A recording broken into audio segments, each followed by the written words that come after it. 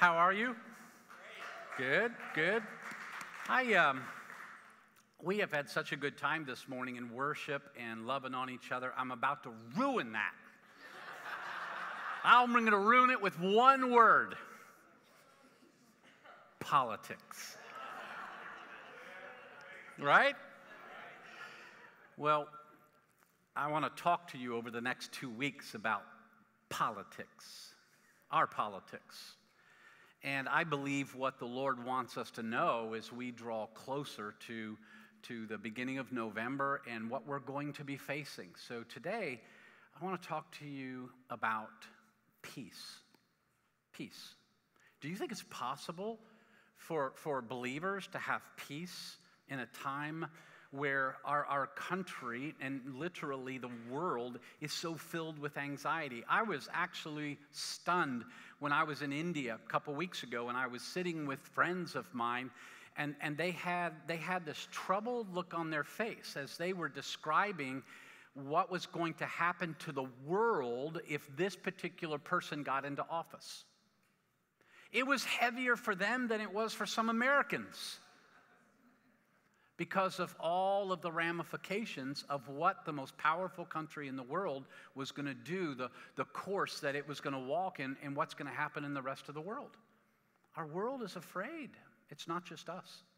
So, so we, have, we have this anxiety, right? We, we all have this anxiety. At least some of us have this anxiety about, oh no, what's, what's going to happen to, to our future? And as I look at our candidates, and I'll speak for me, as I look at our candidates, to me, they are exactly the same. They're the same. They have different worldviews, but inside they're the same. The only difference between the two, besides the worldview, is, is one of our candidates flaunts the poor character and the other one hides the poor character. That's it. That's it. And we're, we're left, and listen, that's not, I'm not digging on our candidates. I don't believe in that. What I'm saying is truth. It's truth. And it leaves us, those who love the Lord Jesus, we're left with, with what then do we do? How do I vote? Do I vote? Do, what, what, what platform should I do? We, we're left with this anxious decision on how to move forward. This is so far beyond Republican or Democrat or independent. This is going to the character of, of who we are is represented here by these two. And I want to suggest to you that God has a message for you over these next two weeks. Next week is very practical. Here's what you need to do to keep the mind of Christ over the next week. That's next week. Today, God wants you to know that He is at perfect peace. Jesus is at perfect peace. And he's simply inviting you to step into his peace, not this world's peace. So I want to break open the word with you this morning, and I hope that when you leave here, you're going to have an extra three layers of skin when you turn on the TV and you start watching the bombs being lobbed back and forth. And it's only going to get worse over the next week and a half. You just have to know that. You probably do know that. So let me do this. Let's, let's open the word together. I want you to turn to Mark, Mark chapter 4, and then after we read scripture, we're going to pray together. Mark chapter 4. We're going to talk about peace inside of a storm. On that day, when evening had come, he said to them, let us go across to the other side. And leaving the crowd, they took him with them in the boat just as he was, and other boats were with him. And a great windstorm arose, and the waves were breaking into the boat so that the boat was already filling. But he was in the stern, asleep on a cushion. And they woke him and said to him, Teacher, do you not care that we are perishing? And he awoke and rebuked the wind and said to the sea, Peace, be still. And the wind ceased, and there was a great calm. He said to them, Why are you so afraid? Have you still no faith?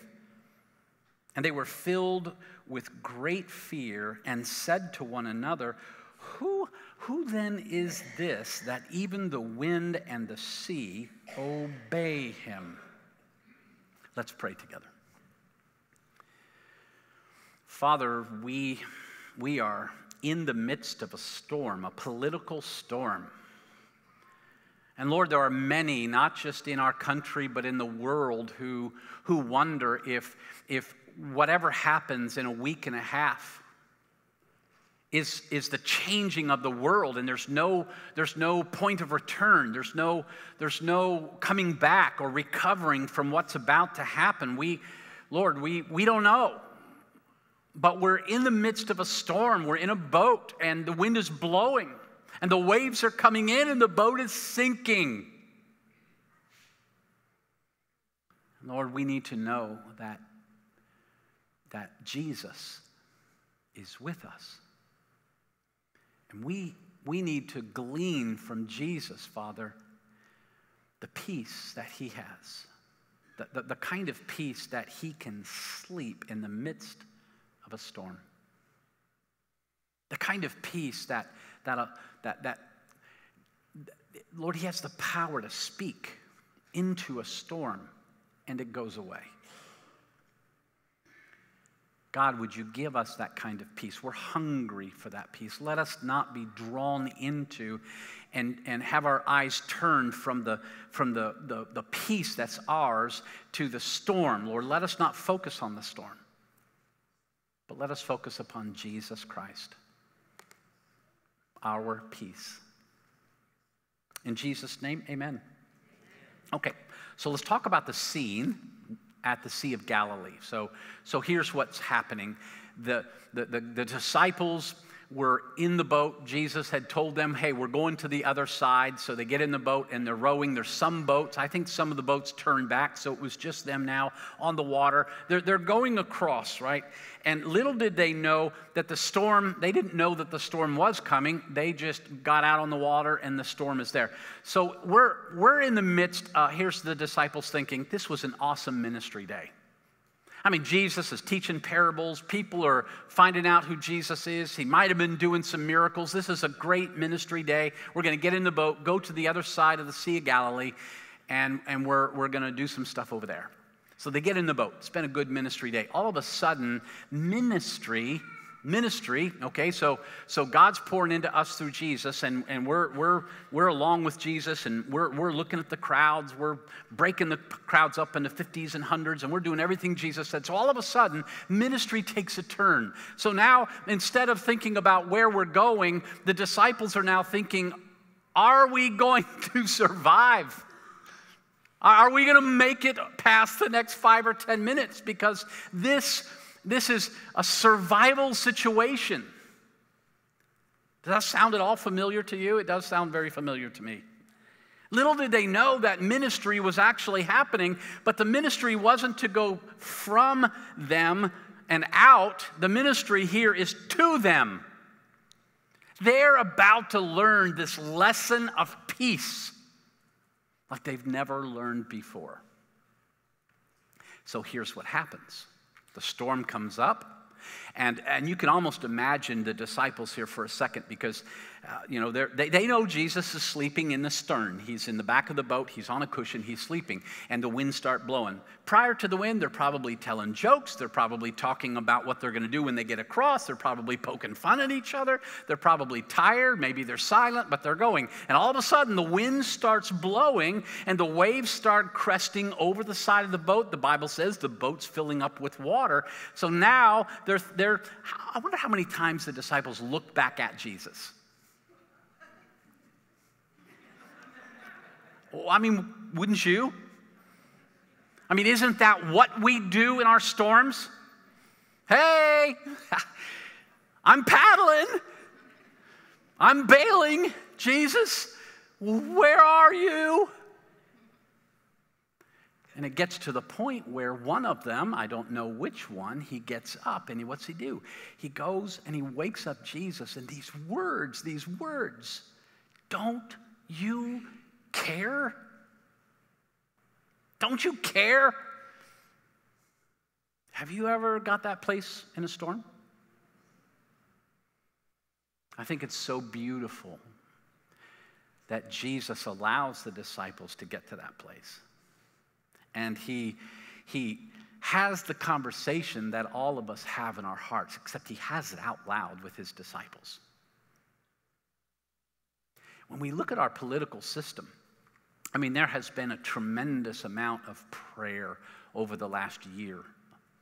Churches all across the United States, and there are countries praying for the United States. Do you realize that? Countries praying for the United States because this is such a pivotal election. And has our country experienced the repentance that we've been crying out for? Even in this year, 2016, we've had sacred assemblies here in this house where we stopped our service for a Sunday. And as a congregation, we cry out to God God, bring repentance to the United States of America. We haven't experienced repentance. As a matter of fact, what we have is a country that is polarized and caught up in the foray of, of a battle.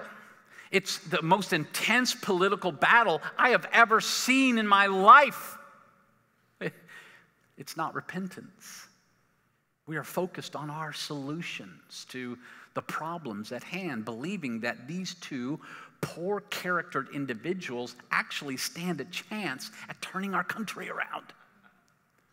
They don't. But we are in the boat with Jesus. And that's all you need. Listen, as we go further in this story, there's a tension. There's a tension, and I think you're probably feeling it, right? There's a tension. And the disciples felt a tension, and that was on one hand, there's a storm in front of them, and there's Jesus behind them. And that's the same kind of tension we feel. We see a storm in front of us. What does it mean? What does it represent? Well, we don't know, but we're going to find out, I assure you that. But we know that Jesus is behind us, He's in all of this. But here's the thing just like in the story, Jesus was asleep on a cushion in the boat. Jesus, you haven't changed our country.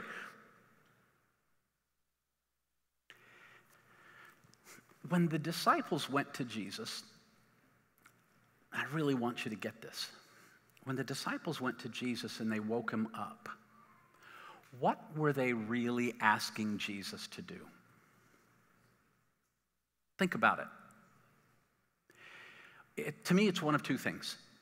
Either there was an extra paddle laying in the boat, or there's an extra bucket laying in the boat. And they were literally saying, Jesus, we need your hand at getting the water out of the boat or getting us across to the other side. I want to tell you, Jesus does not bail water.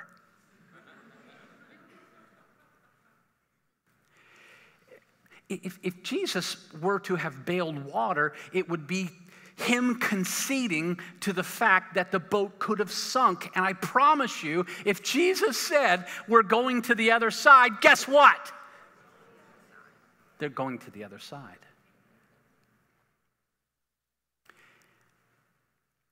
The disciples were afraid. They were anxious. They, they were worried because the waves were coming over. And just a few minutes ago, they were on land and they watched him do amazing, miraculous things. God of miracles, God of miracles. We just sang about that. There's, there's, uh, let's bring this back to us um, just briefly here. See, there's, there's two ways that you can look at Jesus in this story the, the, the way that the disciples are, and maybe the way that we are in our political situation. There's the act of Jesus. Jesus, bring repentance to the United States. Jesus, would you please save Hillary Clinton? Would you please save Donald Trump? Would you, would you turn their lives upside down? And that's a good prayer, and who knows, God can do anything right? But see, Jesus, I know that you care if you're active. If you're active. If you're bailing water and rowing the boat, then I know you care. But there's a more powerful Jesus than an active Jesus, and it's the present Jesus. The Jesus who is present. The Jesus who, who he was never going to bail water. He was never going to row that boat, ever. You know why? Because at the end of that would have been disciples looking at him and go, You bailed more water than anybody I've ever seen. You paddled faster, Jesus. We got all of us together. We did it together. We beat the storm. What was the end game for Jesus in this situation? What was it that, that he wanted to see that would produce peace inside of his disciples? Well, we find it in verse number 41. Who then is this that even the wind and the sea obey him? Did you know that the, the safest place on earth for those disciples was in that boat with Jesus. The safest place for you in this world is right before a political storm. Do you know why? Jesus is in it. He's in it. Every last piece of it he owns. You know what? I would even suggest to you, well, let me ask, let me ask the question, then I'll suggest. We know that Jesus owned the end of that storm, right? He owned it. Why? He shut it down. Do you think he only end uh, he only owned the end of the storm or do you think he owned the beginning of the storm? Do you think he owned the storm before it was a storm? Is it possible that he brought the storm to teach the disciples where their peace lies? Not in a Jesus who bails water, but in a Jesus who commands storms. These men were going to touch billions of people, us included, as time goes on. Do you think it was important to Jesus that these men know that peace exists in the storm and not how fast they can move, but who they trust? And I want to suggest to you, we can learn from a Jesus like that. And we can learn from disciples like that when we say, Jesus, it's not how active you are, it's that you're present. See, here's the thing there is surety in what Jesus says. And at the beginning, what did Jesus say? Not, hey guys, I'm going to the other side. I hope you make it. What did he say? Let us go to the other side. And the disciples lost sight of that. The disciples lost sight of the fact that Jesus commanded at the beginning what the end is going to be. And that's why he said to them, Why are you so afraid? Why is your faith the way that it is? I've already spoken with my mouth where we are going. Next week, when we get together, I want to share with you where we're going. Where are we going?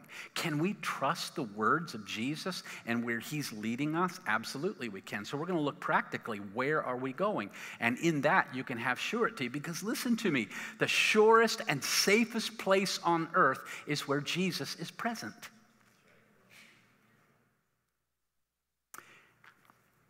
Do me a favor. I want you to just close your eyes for a moment.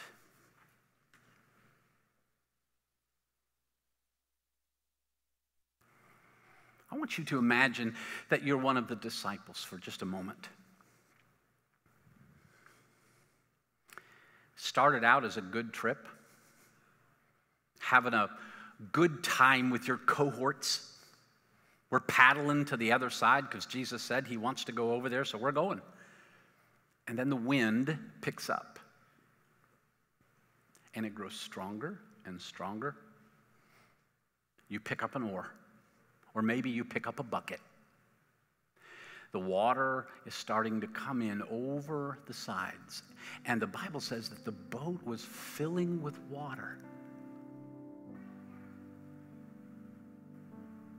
in the midst of this rocky boat and water sloshing at your feet, you, you lay the oar down and you walk back and you see Jesus sound asleep.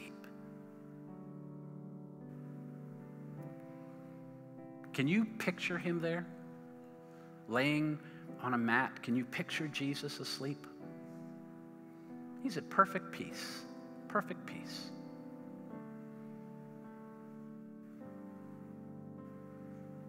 in all the storms of your life, in the political storm that we're in, He's at perfect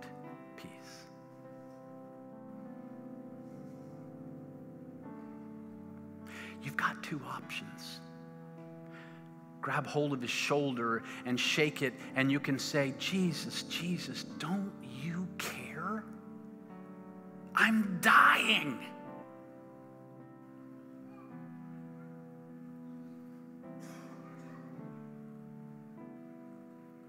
Or would you say to him this morning, You got this, Jesus. You've got this. I trust you. As long as I'm with you and you're with me, I can be at perfect peace. Perfect peace. Hey, friend, if that's where you are, would you let the peace of God fill you right now? Just let it come. Let it come. Open your heart to it right now. I receive the peace of Jesus Christ. Because this whole boat that I'm in, this whole boat that the United States is in, Jesus is present in it. And he commands the storm Peace, peace, be still.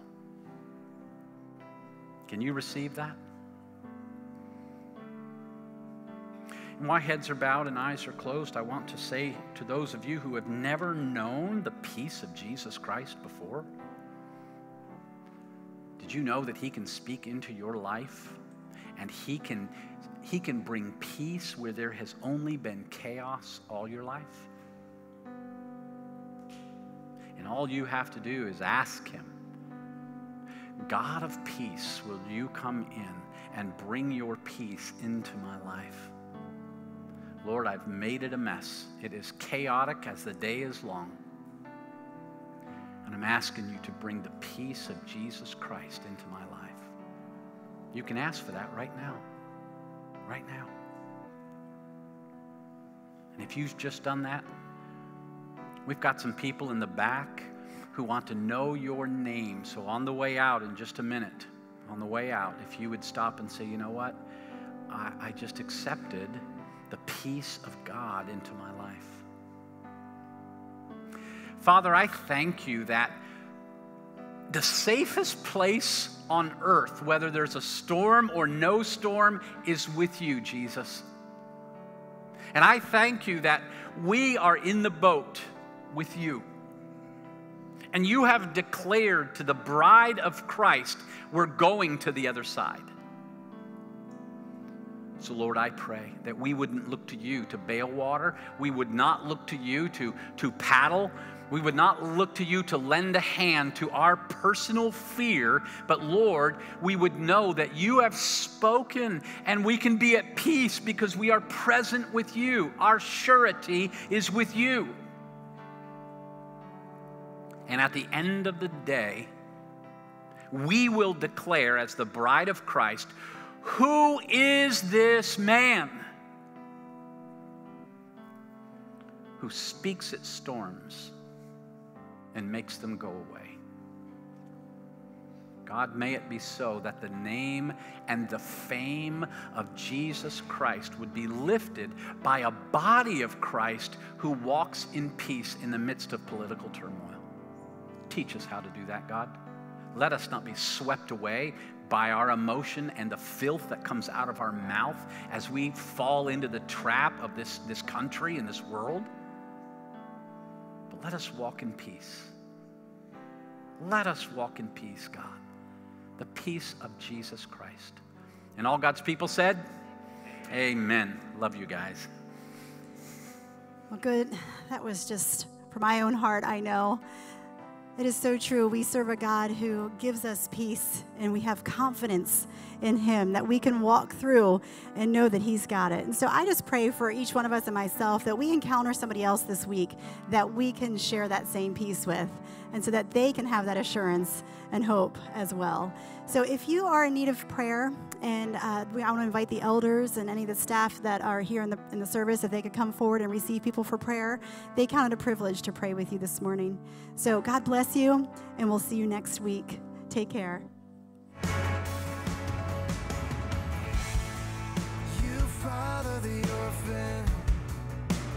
kindness makes us whole, and you show